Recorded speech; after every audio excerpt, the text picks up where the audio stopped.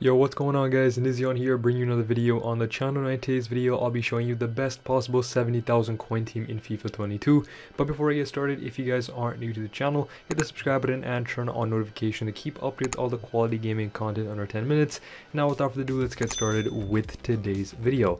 So as you can see right here, this team is a 4-3-3 fourth variation and this squad is a very versatile squad. You can use it in the 4-2-3-1 and my personal favorite the 4-2-2 it's a very very good for formation in my personal opinion. A lot of different pro players also use it. The 4-2-2 is just a very great formation so if you're looking for that you can do this. If not you can change one of these players and then make it into a 4-3-3 or 4-3-2-1 formation team so we're going to start off with the first player. In the back we have ourselves Samir Handanovic, a very solid goalkeeper, 6'4", high rated. That's all you really need and a very solid goalkeeper in this squad. Now moving on to the right back position we have ourselves Denzel Dumfries. Now why I chose him over the likes of Cuadrado is because he is six foot two, high medium work rates. This guy is an absolute powerhouse. If you put a shadow on him, gets his defending stats up, and already his physical stats are um, unbelievable. I mean, 94 uh, stamina with almost 90 strength, an absolute monster of a card. And all you need to do is put a shadow on him, and he's probably the best right back that you're going to be using for that rating. Now we're going to move on to the right center back position. We have ourselves Milan Skriniar, 6'2", medium high work rates, 4-star weak foot, a very, very good defender. I put a catalyst on him to maybe bring the passing and the pace up. But besides that, a very, very solid player, and honestly, there is really no weakness in this card. Now moving on to the left center back position, one of the favorites in the FIFA 22 game and Ultimate Team in general, Eder Militao, 6'1", medium, medium work rates. This guy really does outplay his stats in game. He's an absolute monster of a defender and he is very, very good at getting the ball back and intercepting the ball. If you want to put an anchor or a shadow on him, whichever one that you floats your boat and makes you feel more confident you can play with, just overall a very solid center back. But now moving on to the left back position, we have ourselves Renan Lodi, high medium work rates, left footed, four star skills, three star weak foot, and a very agile uh, fullback that action can really catch up to a lot of pacey wingers, especially if you put a shadow or a anchor on him. Now moving on to the right center mid position, we have ourselves Nicolo Barella, high high work rates. He is kind of like a cheap budget Kanté of some sort just because he has very very good uh, stats in game. And also he has very well dribbling. Like he can really pass the ball well and dribble with the ball very very well. And he's nimble and can intercept like some players like Kanté, for example. And that's why I compare it to him. But obviously he's a very very good player for about two three thousand coins now moving on to the left center mid position, we have ourselves Federico Valverde, six foot high high. Again, kind of similar to Barella, but just way more faster. Uh, he does have better passing in game, in my personal opinion. He has good short passing and long passing, which makes him a solid center mid and overall just a very very good player to have.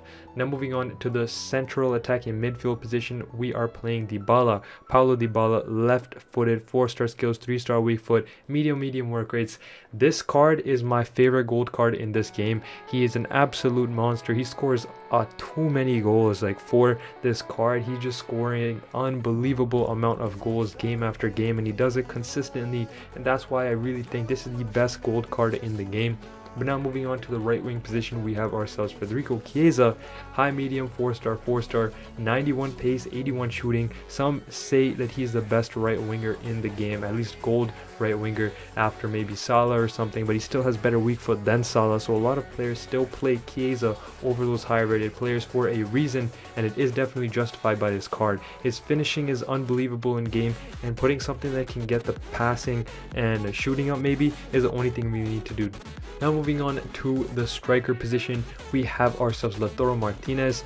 High medium work rates, 4 star, 4 star. If you put a hunter on him, he will really score you a lot of goals. Not as much as Dybala, but still he has very great finishing. Especially if you put that hunter on him, he will get 95 finishing and an absolute amazing card. He's already fast enough and with his build and body type, it makes him really good on the ball as well. And that's why I chose him in the striker position. But to finish off this team, in the left wing position, we have a very underrated player in my personal opinion, we have ourselves Eden Hazard. Medium, medium work rates, 4 star, 4 star. Even with a hunter, he is an absolute monster. Now, from the winger's point of view and playing this in the 4-2-2 formation, you need someone like Hazard that can also play like a central attacking midfielder, and that's what he can provide you, you know, with those stats, with that dribbling, with the 4-star, 4-star, he's very, very good, and he can also score a lot of finesse shots. I don't think yeah, he also does have the finesse shot trait as well as some other players as well in this team, but he's a very, very solid player. And in game, how we play this team and how it looked like is if you switch the formation in game to the 4-2-2, you'd play Lautaro left striker, Dybala right striker, and Eden Hazard on the left or right. Doesn't really matter. And you'll have your CDMs as Valverde and Barella, and then your defensive line, which just makes this team a very solid and good, well balanced and well priced team for each position and category. For around 70,000 coins at the time making this video, there's really no question that this is one of the best teams in the game and I really don't see you finding a better team for this for the price. Now that's been it for today's video. If you guys have any questions, comments, or concerns, please be sure to leave it in the comment section down below. And let me know if you tried this team out for yourselves. And also all these players are concept because I sold them uh, previously just because the market's just crashing day by day. So I really didn't really want to keep and lose money on these cards anyways. But overall, a very, very good team. And hopefully you guys enjoyed today's video. Like I always say, if you guys have any questions, comments, or concerns, leave it in the comments. I'll be catching you guys all in my next video. Peace out.